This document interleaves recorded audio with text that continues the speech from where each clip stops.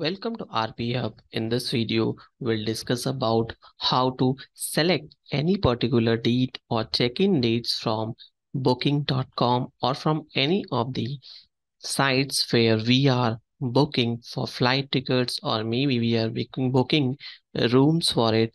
So we'll show you how we can perform this activity practically using UiPath. So it's very simple enough. So before proceeding further, let's run the process and then see the result and afterwards we'll build it from scratch. Now here you can see a bot has started the executions based on the specified dates. This will select the check-in dates and checkout dates and click on search. Once the date picker activity will work perfectly fine, we will have the results available easily and we'll see the components are added as per our requirement. It means if we are booking for flight tickets, generally we will have the check-in dates. And if we are booking for any particular items like hotels or anything to stay, probably we'll have this data available on booking.com. Now you can see 18 has selected and we can also see done successfully is available and by this way we can confirm that this check-in has been done. Now let's delete complete flow and create a new sequence which contains date picker as a name and post that we will build this flow from scratch. If you want to learn UiPath from scratch, please, please watch my UiPath playlist. And this complete playlist is dedicated for project creations where we are trying to cover the different types of projects which is regularly required in UiPath automation flow.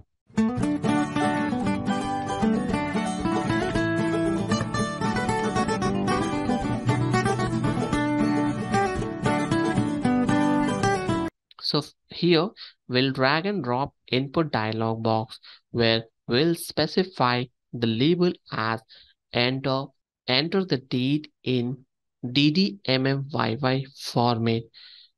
Here we are keeping input type as a text box and we'll create value entered as string input so that it will save our date and based on the command this will start executing the flow. Next activity, we will drag and drop assign activity. Here, we'll create again a new variable which will contain string month and year and value to store here is generally will specify in expression editor.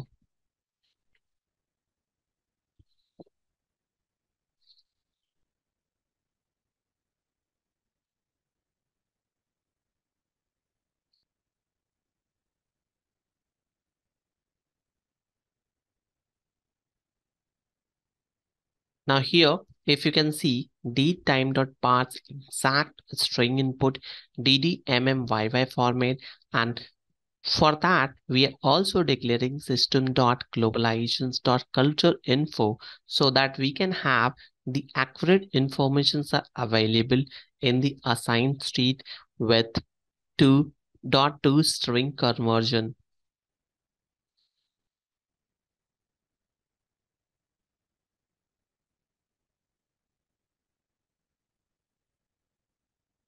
As a part of next actions, we'll again drag and drop assign activity and we'll create a new variable which contains string date only.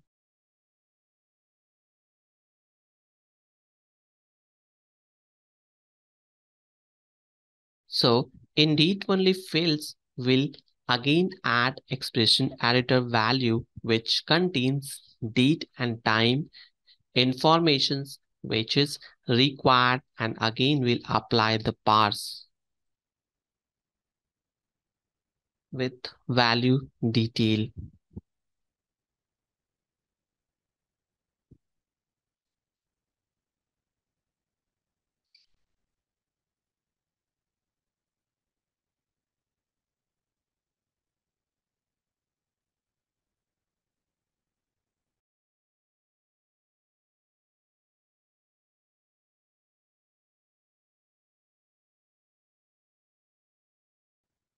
Now, to showcase the exact detail on message box, we here we have dragged and drop message box to specify the message box clearly stating string read only fields. And finally, we will use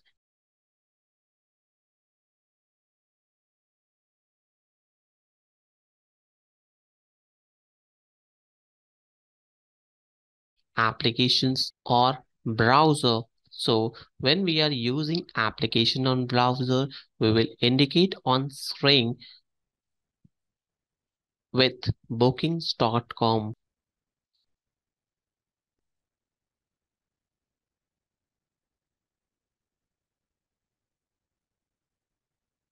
When we will indicate the screen properly, we will have the data available as a booking.com and we can see the screen.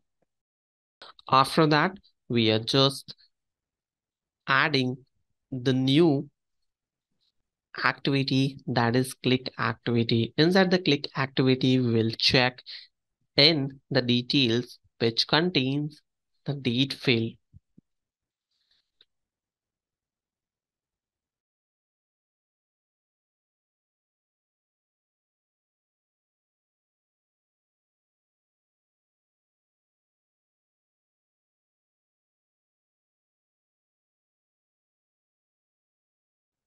Now, as a new activity, we'll add get text activity where we can capture the text which is generated successfully.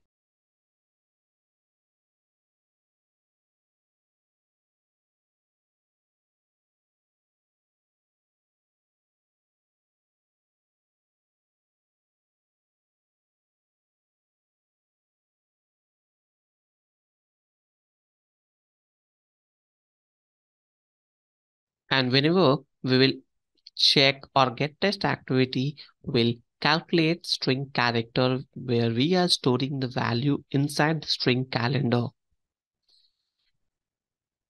And finally, we will use while loop where we are providing the conditions. If the condition is met, then only we are getting a result. Otherwise, we'll trim the value. So here we are trimming the value and based on that, we'll get on message box.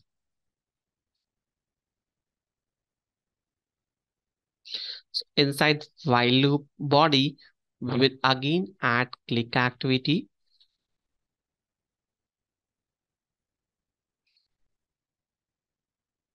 And inside the click activity, will specify the next arrow button where we can have the calendar and post that we will click on search and validate the fields.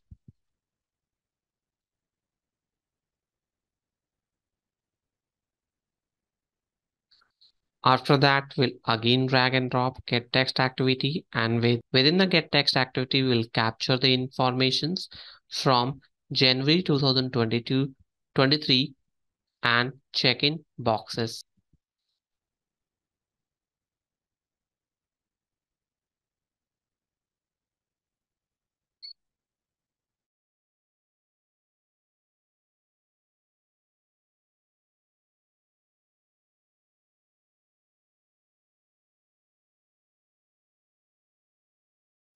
And next activity will add click where we are indicating the 19th value that is a checkout date.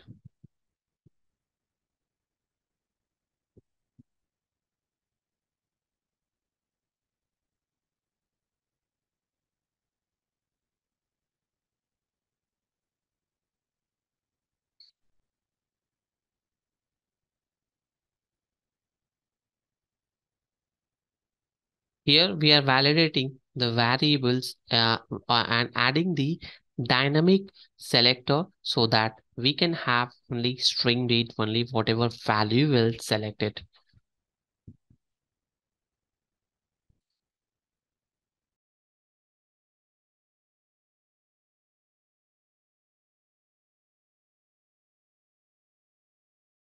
Now, finally, we'll add message box and within the message box will include check-in date with the proper message of successful message will be added. And final stage, we are just adding as, as a message box for showing our pop-up message with done successfully.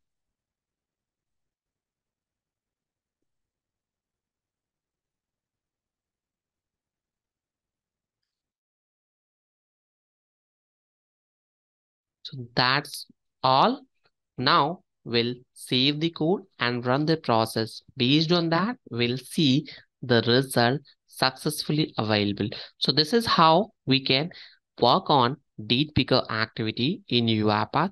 Hope you enjoyed the content. If you think so this will be useful, don't forget to share within your circle. Thank you for watching.